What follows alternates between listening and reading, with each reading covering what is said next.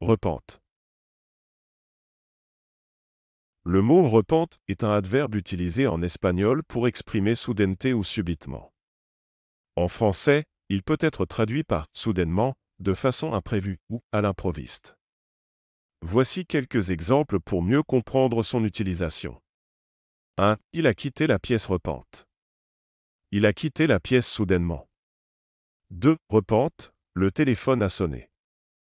De façon imprévue, le téléphone a sonné.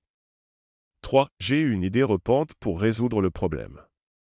J'ai eu une idée à l'improviste pour résoudre le problème. En résumé, repente indique un changement brusque ou inattendu dans une situation ou une action.